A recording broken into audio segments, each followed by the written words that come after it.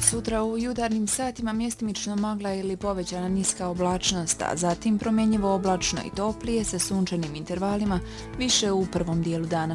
Popodne mjestimično uz povećanu oblačnost očekuje se prolazna kiša ili pljusak. Jutarnja temperatura vazduha od 5 do 7, na jugu do 9, a najviša dnevna od 16 do 19 stepeni.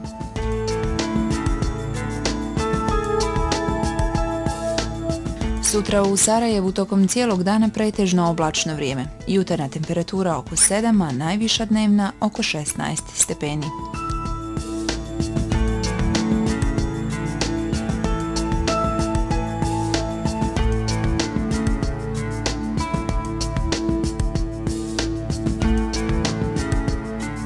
Uz relativno povoljne biometeorološke prilike, većina stanovništva trebala bi se osjećati ugodnije.